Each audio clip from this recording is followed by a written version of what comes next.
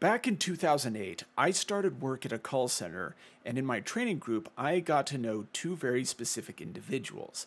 I forget who their names were, but uh, as we got to talking, we learned that we were playing WoW. I told them that I was into PvE content, I was for the Alliance. Both of them specifically mentioned that they do only PvP content. And they sort of referred to this as if you're doing PvE content, it's like you're using the baby weights in a gym.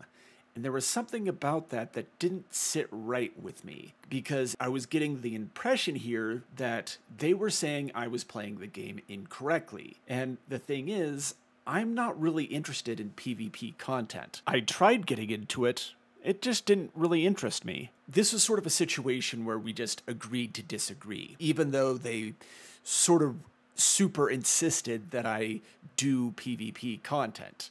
I just dismissed it and moved on. And there's a reason that I bring this all up here. I consider myself to be a casual or solo World of Warcraft player. I usually like to refer to myself as being casually hardcore. That being said, I will usually dip my toes into some PvP content from time to time, and I may dip my toes into a Mythic Zero from time to time when I can get my act together and really focus on doing really well. But that being said, I think I tend to enjoy the world of Warcraft more than the Warcraft, and let me explain that here.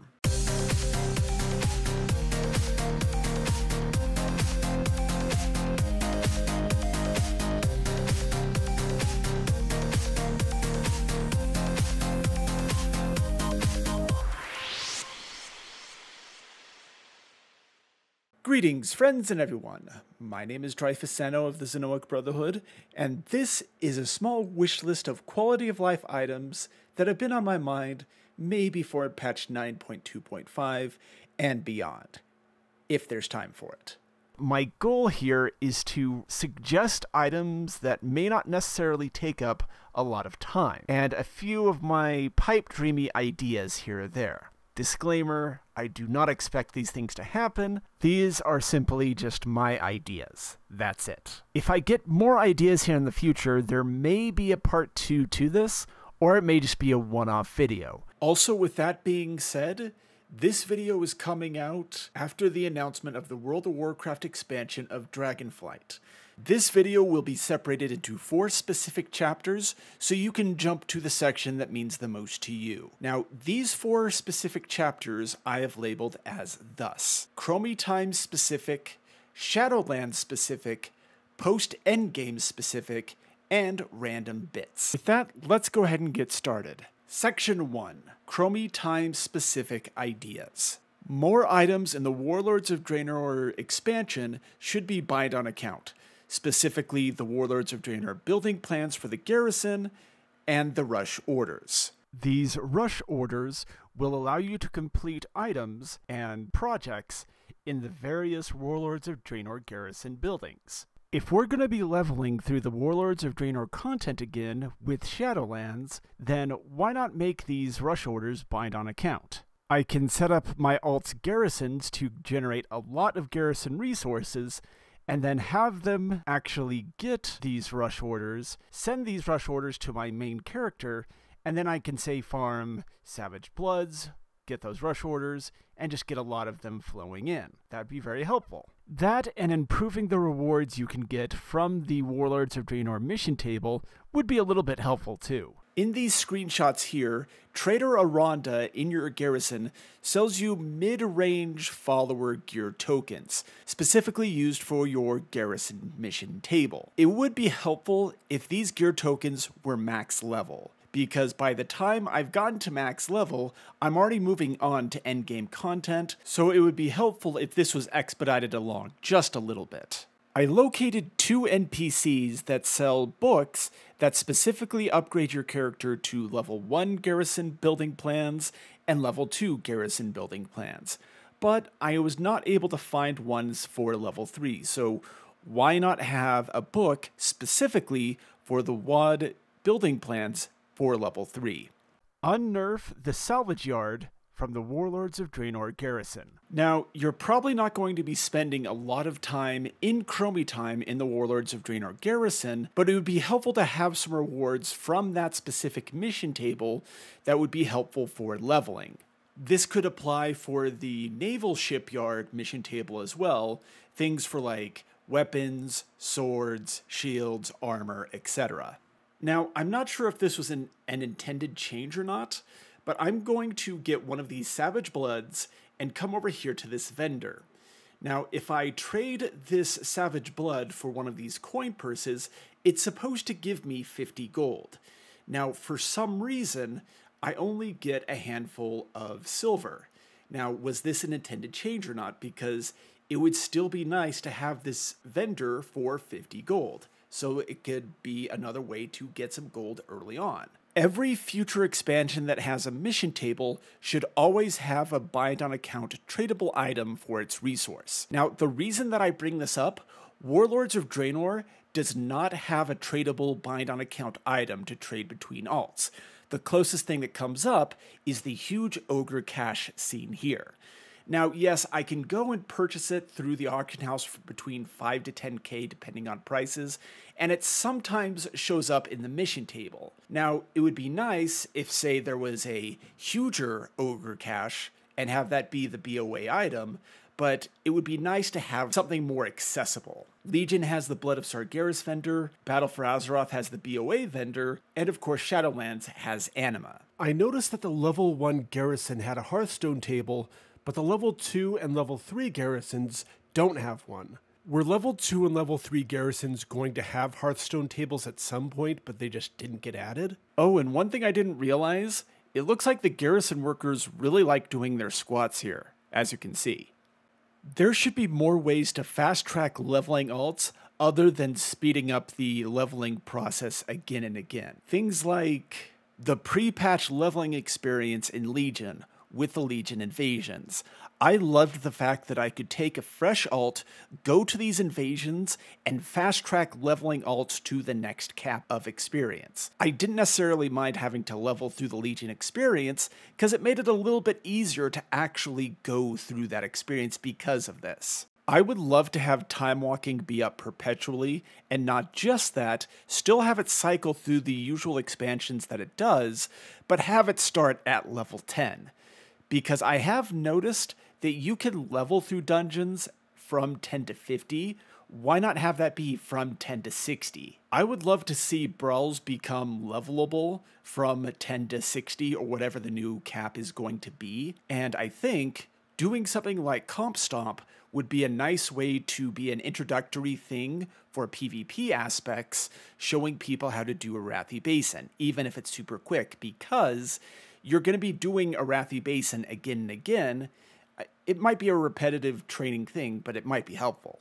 The Mists of Pandaria scenarios, heroic scenarios, and the training ground seems like great potential to have some leveling options through there. I suppose I'm curious as to why the scenarios haven't been used that much previously, but if they could be tuned to level, there's another option right there. And having a weekly for the training grounds should be an option to show me how to tank, heal, or DPS in a non toxic environment. If there was something in a previous expansion that was endgame, that should be the, the new level 50 cap. As an example, horrific visions from Battle for Azeroth. This would be a great way to encourage players to level through old expansions. I would love to be able to level through Torghast once Shadowlands goes into Chromie Time specifically, and be able to load that character up with entry level gear so that they can get into the new content of 10.0 whenever it is that's ready. I liked how the 50% leveling buff came back temporarily just before the launch of Season 4 of Shadowlands.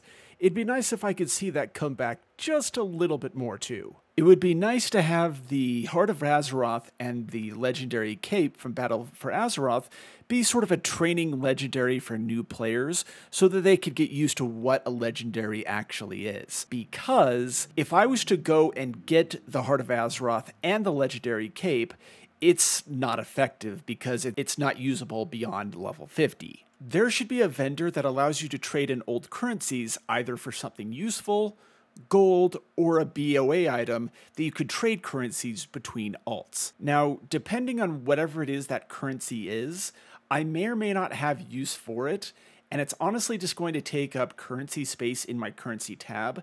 And I realize that's only saying so much here, but it's sort of pointless for me to have 20,000 of this, 10,000 of this, and only have it be just either mug or something that that isn't useful to me specifically. That being said, that is giving me a video idea to explore where some of these currencies actually come from and see whether or not it's useful to actually utilize that currency. I'm a bit of an altaholic. I love seeing different classes, different tanks, different healers, different damage dealers, and see how I can do things a little bit more creatively on a day to day basis. Now, that being said, sometimes I don't get enough boosts to help me along here. It feels like I should be getting more boosts in a grind sooner and not later.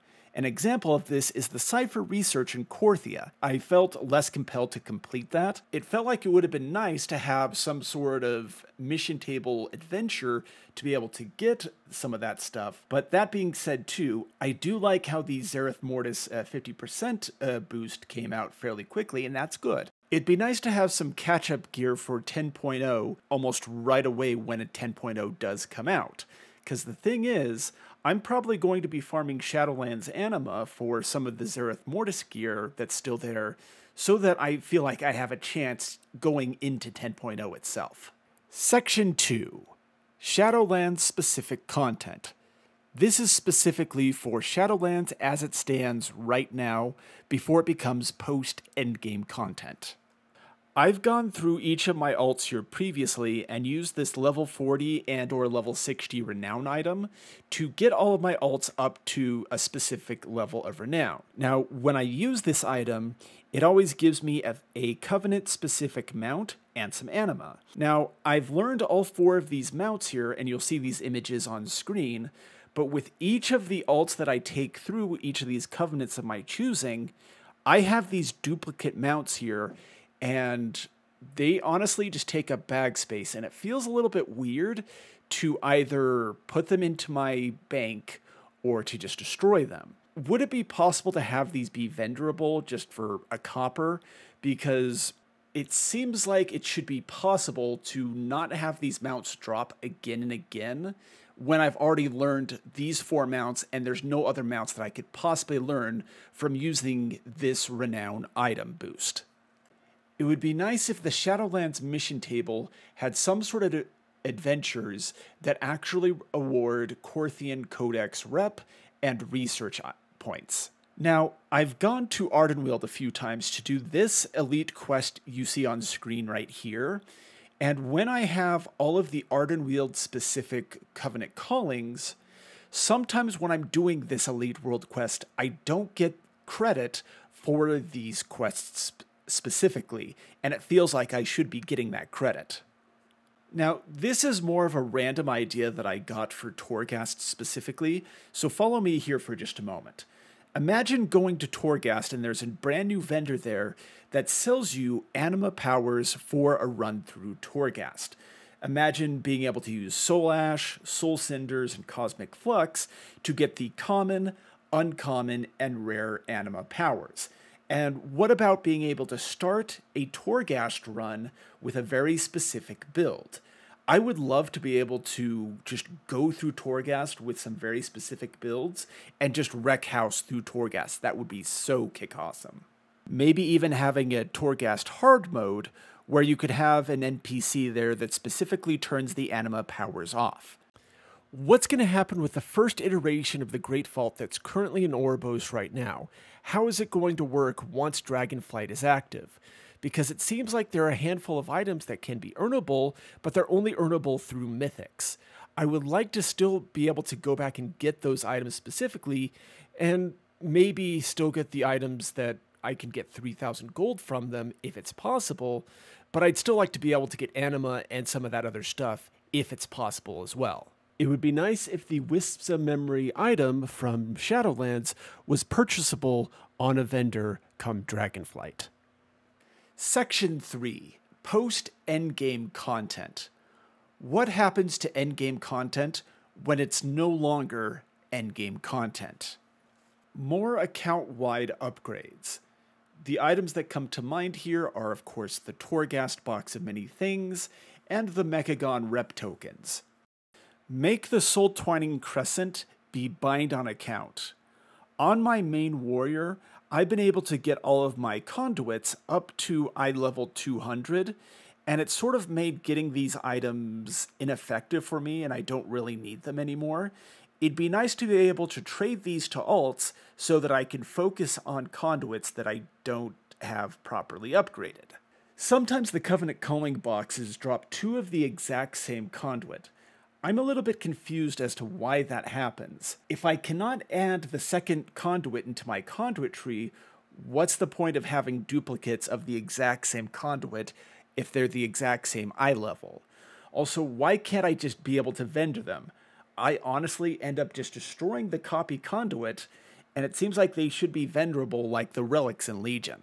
And finally, Section 4 Random Bits.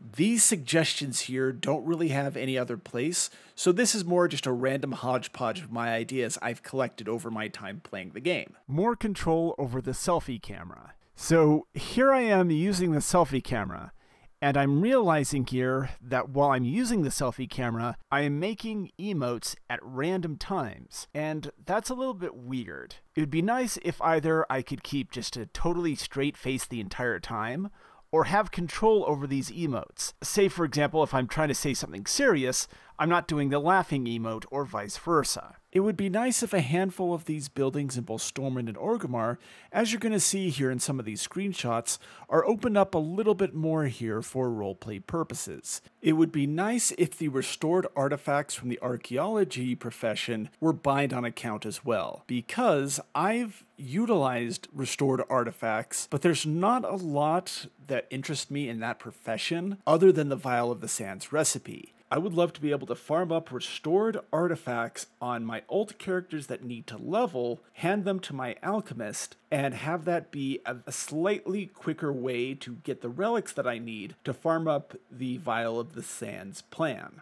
In my WoW journey, I have farmed up this plan for the Sandstone Drake at least twice now, and it has been its own kind of frustrating, but satisfying once I do finally get the plans themselves. I think leave the grind with the canopic jars in the actual grind itself, but just I think one thing that can be improved is making artifacts bind on account. This is more of a personal request, but would it be possible to update the outfits worn by the female warlords of Draenor Garrison workers so they aren't wearing Winter's Veil bikinis during Winter's Veil? I would prefer something akin to the disposable Winter's Veil suits. They are more Great Father Winter themed, and they're much, much warmer. It would be nice if the gazebo area in Stormwind and this area in Ironforge automatically dismounted you. Would it be possible to make LFR soloable? This would be perfect for those that just want to watch the current story cinematics and piece everything together. I want to see the story, but it seems like I have to resort to YouTube videos if I want to piece things together for a current story's arc. I like the idea of contracts, but not this iteration of contracts.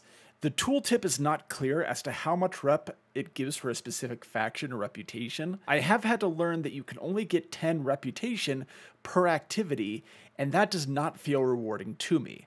Now, I'm not asking for it to fast track me from honored to revered in a reputation, but I feel like I would have to go through multiple contracts for them to be useful or rewarding. Something in the neighborhood of 100 to 250 rep would feel a little bit better. One idea I had when coming up with this idea maybe have the contracts rep scale with content. Maybe so much for rares, so much for world quests, etc more neutral stages to perform on.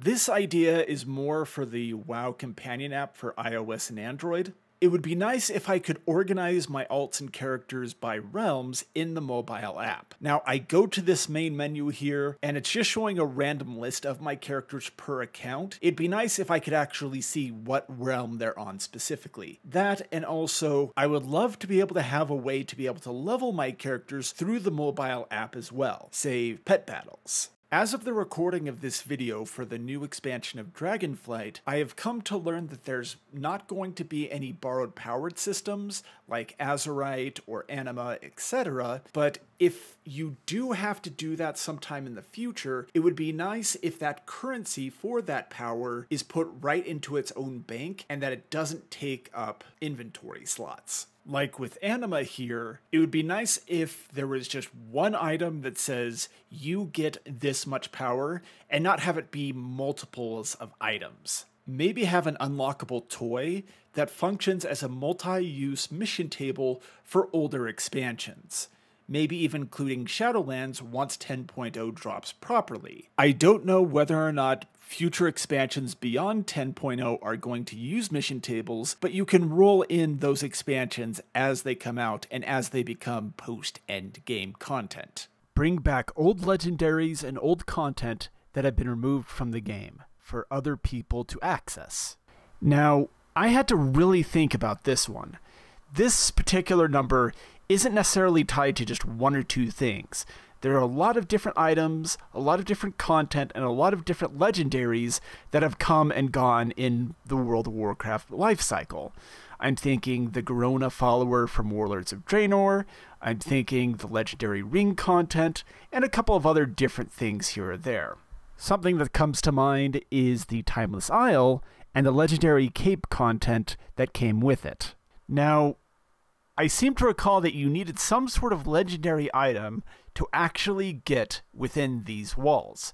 And then when you could, there was a boss or something very special that you could get here. Now that we're in this Shadowlands expansion exploration experience, I'm curious to see what's back here because I never got that legendary item. And I'm aware of the fact that Blizzard likes to make things special and unique and time gated from time to time. I don't have a problem with that. That's perfectly fine. But at the same time, because I never personally got this legendary item, it could be 10 expansions down in the future and everything, and I could never ever see what this is because I wasn't quick enough to find this item. Maybe reactivate the quest line here temporarily and allow players to try to get this cape one more time so that they can see this content. Because what's the point of having this here now if a quick wowhead search tells me that I can't go in here, then okay, I guess I'm going to move on then. One thing that was brought to my attention was removing the requirement to have the legendary item to begin with. So I'm curious to see what was so important now, and let me see what's in there. At the end of the day, I love this game.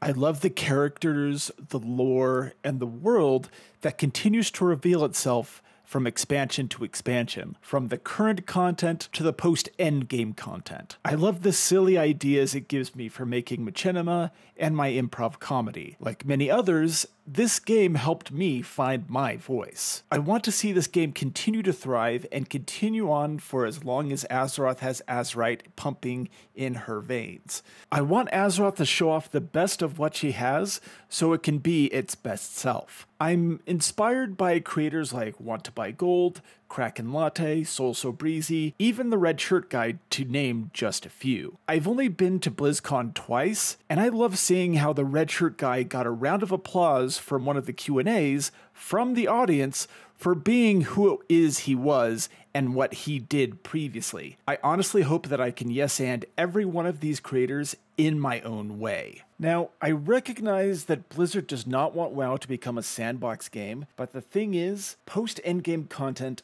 almost almost becomes sandbox material. When an expansion becomes post endgame content, it's almost as if that expansion becomes frozen in time, never to be updated again. Maybe maybe getting a few hot fixes here or there. Like for example, let's just say down the road once 11.0 comes out, the same thing's going to happen to Dragonflight it's going to be chromified as well. Whether or not it had a good or bad reception, the same thing's going to happen again. Now, don't get me wrong here. I'm pretty sure once 10.0 runs its course and 11.0 is ready, I'm probably going to be revisiting 10.0 content like I'm going to be revisiting with Shadowlands here at some point. So Am I playing the game wrong by just being casually hardcore? I would say no, I'm not. I still love the game, and I can love the game even if I'm not doing Mythic Plus, raiding, or PvP that often. But until next time, I am Dreyfus Xano. I will see you at season zero of my content. I Matter, You Matter, Dioniss aca, and Archenon poros.